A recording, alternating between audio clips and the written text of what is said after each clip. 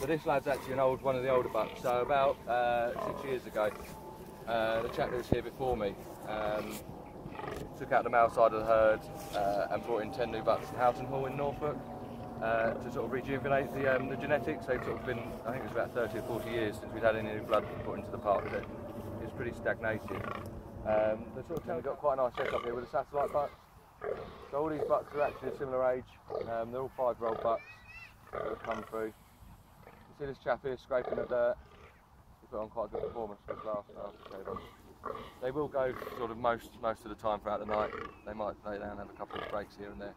Um, and they go. They tend to sort of sort of start to stroll away about eight o'clock in the morning. They start to switch off a little bit, um, and by sort of half eight nine, it's pretty quiet up in here the older bucks will be, be laying in their wallows, um, but the, the grunting and stuff tends to stop. They might go a couple of times throughout the day. Um, if the doe comes through in season, it'll, along. We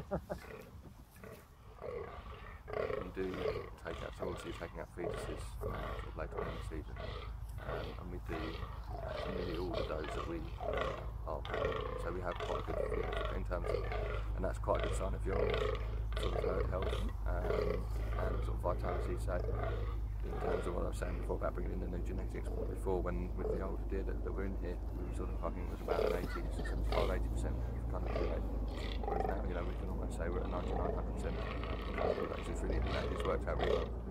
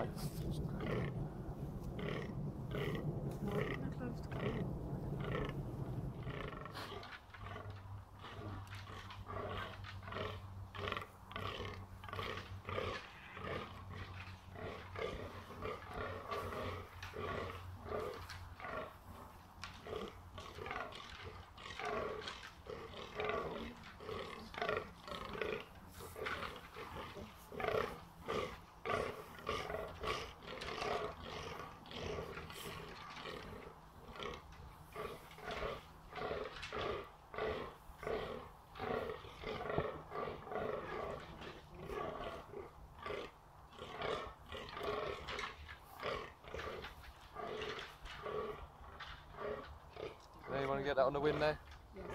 Yes, I did. Yeah.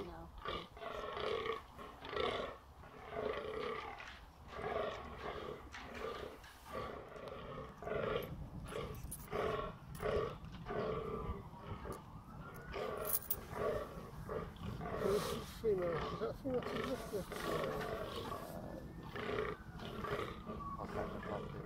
She might just be sort of watching what's going on at the moment, looking at all the boys and saying, they're trying to run ours.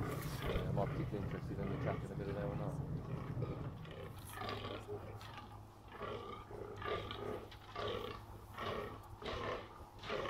That's a good scent. Did everyone get that one? The scent then? All that. It's sort of musky. Yes. Quite sweet.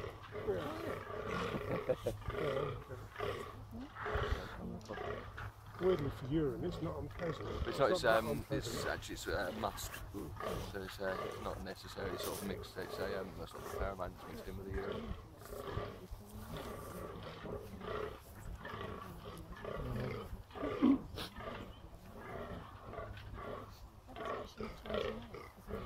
But it's, this is in the south. But that's our big lad there getting a bit of a challenge by the looks of it.